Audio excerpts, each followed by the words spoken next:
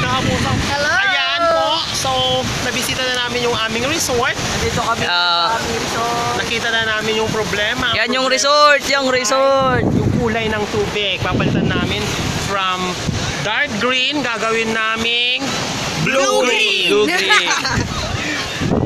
Bali, yan po. Um, pauwi na kami. At syempre, mabato, papalitan namin to ng tiles. Papatayos. Oo. Tapos, yung mga Bali, itong mga buwan... wetting shed, papalitan namin yan ng ano, mga Mga wedding shed. apartment.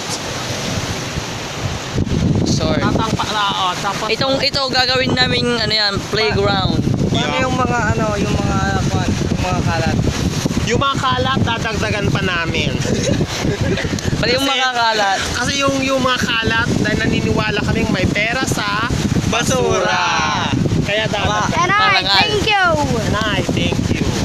Bali, Hindi pupulutin namin, joke lang yun. bali nandun yung chicks ko doon. Oh. Nandun yung chicks ko pero hindi mo makita eh.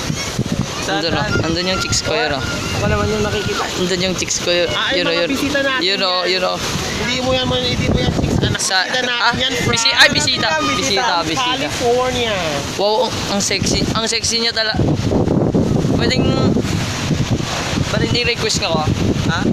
Para nasa terminal Okay. ng airport at Sige. na tayo. Bali, wait lang. na tayo ng ano, escalator. Escalator. Oh, yung payong niya. Hindi yung payong.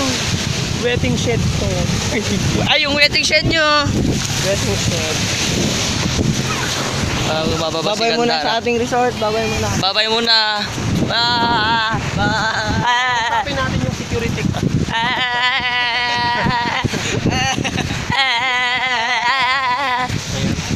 Resort ipapamana ko kay Onyo. ah. Yung buhok niya para parang ano, taguhan ng da.